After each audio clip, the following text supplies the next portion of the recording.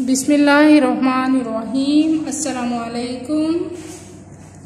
प्यारे बच्चों, आज हम पढ़ेंगे सबक नंबर दस। बाई के नाम खत, पढ़ाई, सफ़ा नंबर सैतीस।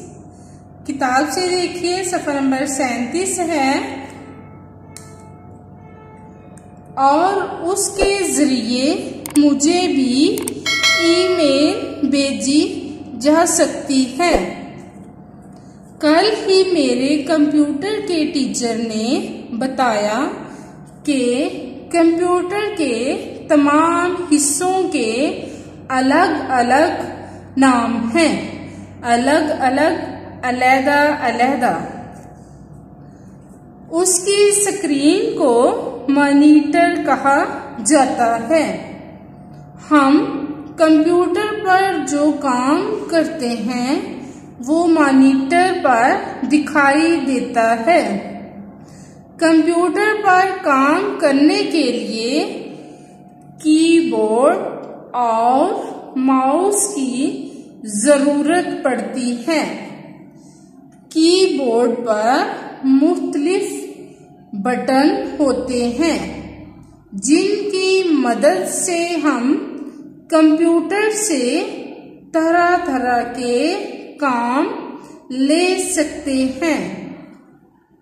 माउस किसी ऑप्शन को क्लिक करने के लिए इस्तेमाल होता है।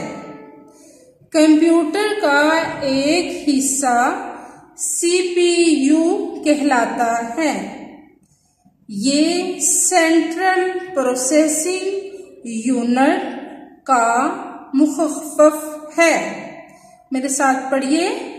सेंट्रल प्रोसेसिंग यूनिट का मुखफ़ है। मुखफ़ मीन इसको छोटा करके लिखा गया है। मुख्तसर किया गया, छोटा किया गया। सीपीयू को कंप्यूटर का दिमाग कहा जा सकता है, क्योंकि ये कंप्यूटर को कंट्रोल करता है। कंट्रोल करता है, काबू में रखता है। कंप्यूटर में हम बहुत सी किताबें महफूज कर सकते हैं। महफूज हिफाजत से रख सकते हैं, उसको कैद कर सकते हैं। ज़रूरत के वक्त हम किसी भी किताब का कोई भी सफ़ा खोलकर पढ़ सकते हैं, बल्कि प्रिंटर के ज़रिए इसका प्रिंट भी हासिल कर सकते हैं। सफ़ा वर्क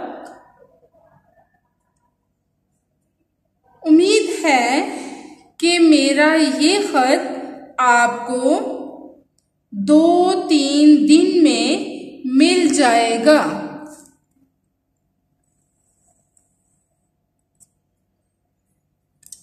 मिलने पर मुझे ईमेल के ज़रिए इतला दे दीजिएगा। इतला, खबर देना, बाखबर रखना। मेरा ईमेल एड्रेस एसन चौदह ए जी मेल डॉट कॉम है। मुझे आपने ईमेल, आपकी ईमेल का शिद्दत से इंतज़ार रहेगा। शिद्दत से, बेचैनी से, बेकरारी से बहुत ज़्यादा इंतज़ार रहेगा। आपका बाई अहसन। अल्फाज मायने देखिए। मुखफ़ मुख्तसर किया गया। कंट्रोल करना, काबू करना, महफूज, हिफाजत से, सफ़ा वर्क, इतला खबर, शिद्दत से, बेचैनी से। अब हम सवाल पढ़ते हैं। सवाल जीन है, कंप्यूटर की स्क्रीन को क्या कहते हैं? जवाब है, कंप्यूटर की स्क्रीन को मॉनिटर कहते हैं। सवाल दाल है, कंप्यूटर का दिमाग किसे कहते हैं? जवाब है, कंप्यूटर का दिमाग सीपीयू को कहते हैं।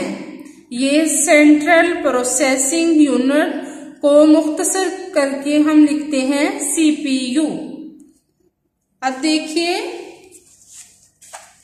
सवाल नंबर सात और आठ, सफ़ा नंबर चालीस से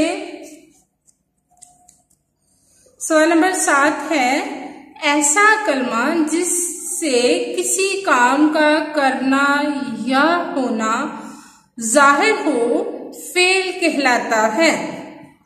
जबकि काम करने वाला फ़ाइल कहलाता है और जिस पर कोई फेल वाक्य हो, मफूल कहलाता है। मसलन, एहसन ने खत लिखा। तो देखिए, इस मिसाल में एहसन कौन है? फ़ाइल है, काम करने वाला। क्या है? एहसन, फ़ाइल है, काम करने वाला। और लिखा क्या है? फेल, जिसमें कोई काम हुआ है, ज़ाहिर हुआ है। खत खत क्या है? मफूल है, जिस पर कोई फेल वाक्य हुआ है। अब देखिए, हमने फेल, फ़ाइल और मफूल को अलग अलग करना है। जुमला है, अरफा ने सेब खाया। इसमें क्या है? फ़ाइल क्या है? अरफा। यहाँ पर हम लिख देंगे अरफा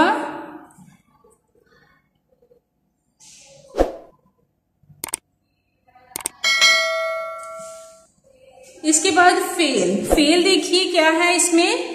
खाया. फेल है, खाया. और मफूल क्या है? सेब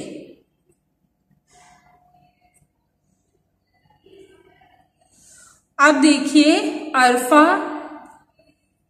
अरफा है जिस, जो कि काम करने वाला है, काम करने वाला. फेल जिस, जो काम हुआ है और सेब क्या है? जिस पर कोई फेल वाक्य हुआ है। ठीक है? अहमद ने किताब खरीदी। तो इस पे फ़ाइल क्या है? अहमद? फेल क्या सॉरी, फ़ाइल क्या है? अहमद? फेल क्या है? खरीदी। मफूल क्या है? किताब। तलहा ने अखबार पढ़ा। तो फ़ाइल क्या है इसमें? तलहा।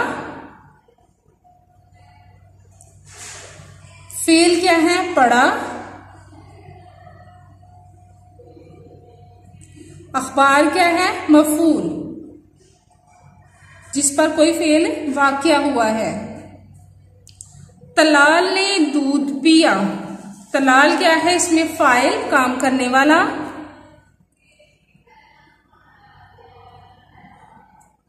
फेल क्या है? पिया। काम जिस पे हुआ है, काम किया है जिसने, जो काम किया है यानी दूध।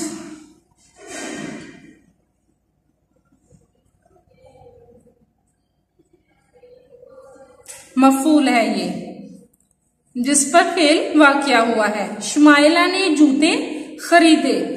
फ़ाइल क्या है? काम करने वाला कौन है? शुमाइला है यहाँ पर। फेल क्या है, खरीदे, जो काम हुआ है।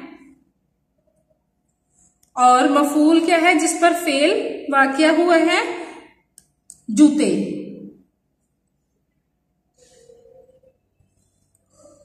प्यारे बच्चों, इसके बाद हम सवाल नंबर आठ पढ़ते हैं। हरूफ अतफ वाओ और और है। इसमें कॉमा लगाया गया है, देखिए, वाओ लगाया गया है। वो हरूफ है जो दो इसमों या दो जुमलों को आपस में मिलाएँ, वाओ, और। ठीक है? ये देखिए, वाओ और और है मसलन दिल, दमाग। दिल, वाओ, दिमाग। तो हम इसको दिल, वाओ, दिमाग नहीं पढ़ेंगे, हम इसको पढ़ेंगे दिलो, दिमाग। इसके बाद है कीबोर्ड और माउस। तो क्या है? वाओ के इस्तेमाल से दी गई मिसाल के मुताबिक मरकब अल्फाज बनाइए, जिनमें वाओ इस्तेमाल होता है, जिन अल्फाज में वाओ इस्तेमाल होता है, उनको कहते हैं मरकब अतफ, हरूफ अतफ। ठीक है? इनको हम मरकब अल्फाज भी कह सकते हैं और हरूफ भी कह सकते हैं। अब देखिए मुफरत अल्फाज, यानी कि ये दो अलग अलग अल्फाज हैं शाम और सहर शाम है और शहर सुबह है। तो हम इसमें वाव लगा देंगे तो ये क्या बन जाएगा? शामो शहर। अब क्या है? गुल और कॉमा लगा दिया गया है। यहाँ पे बुलबुल है। तो क्या आएगा? गुल। वाव लगा के बुलबुल है तो इसको हम पढ़ेंगे गुल्लो बुलबुल। मुलक है और कौम है तो इसमें वाव लगाया गया है दरमियान में। तो कौम है, ये दो यानी कि अलग लफ्ज हैं, अलग अलग हैं। मुल्क मुल्क का नाम है मतलब मुल्क है, वतन है। कौम कौम है ये। तो इसको हम क्या करेंगे? मुल्को कौम। मरकबे अतफ में लिखेंगे, मुल्को कौम। इसको हम इकट्ठा करके पढ़ेंगे। शम्स वाओ कमर। तो इसमें क्या हम लिखेंगे? शमसो कमर, सूरज और चाँद। शमसो कमर। ठीक है? यानी सूरज और चाँद। गुल वाओ है इसमें लगाया गया खार। तो क्या है? गुल फूल है और खार कांटे हैं। गुल, गुलो खार। यानी गुल और खार। अच्छा वाओ, बुरा।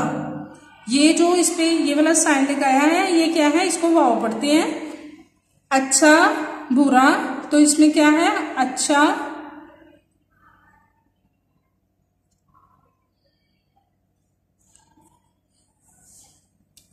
और बुरा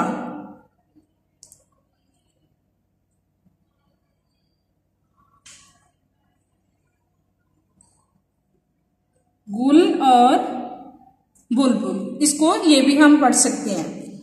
ठीक है? इसके बाद देखिए डायरी।